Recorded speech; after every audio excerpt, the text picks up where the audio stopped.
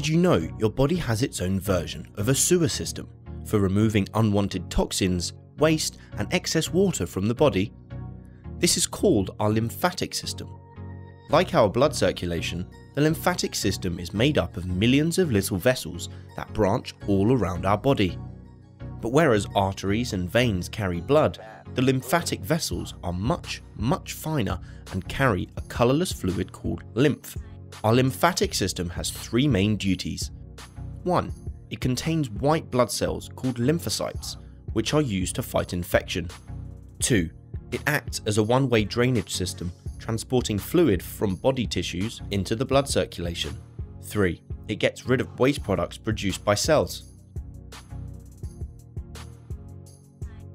As blood circulates the body, plasma leaves the blood vessels and travels into the body tissues, delivering food, oxygen, and hormones to the cells. This plasma becomes tissue fluid and surrounds all our body's tissues. It then collects waste products, excess water, and toxins from the cells. 90% of this fluid passes back into the blood circulation. However, 10% of the fluid is left behind and is known as lymph. We therefore need a system to drain this lymph fluid, so that we don't end up as a swollen fluid filled balloon, hence the lymphatic system. The lymph fluid drains into lymph vessels, where it then travels to lymph nodes which are found all around your body. To stop backflow, the lymph vessels have one-way valves and muscular walls that contract to force the lymph forward. This is happening in millions of little lymphatic vessels in your body every minute of every day. The lymph nodes filter the lymph, destroying or trapping anything harmful. The lymph nodes contain white blood cells called lymphocytes, which attack and break down bacteria, viruses, damaged cells, or cancer cells. This filtering and destroying is an important part of our immune system and stops nasty substances being fed back into our bloodstream which would make us sick. The waste products and destroyed bacteria are then carried in the lymph fluid through larger lymph vessels up to your neck, where the thoracic duct empties the lymph back into the blood circulation.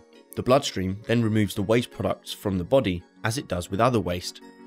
As well as the lymph fluid, our lymphatic system also includes a few organs the spleen, thymus, tonsils, and adenoids. They all have roles in helping our body fight off infections. Unfortunately, like any sewer system, things can go horribly wrong. Sometimes we get infections that cause the pumping to break down. This can cause your arms or legs to swell to huge proportions. Sometimes the debris or other bad substances can make it past lymph nodes.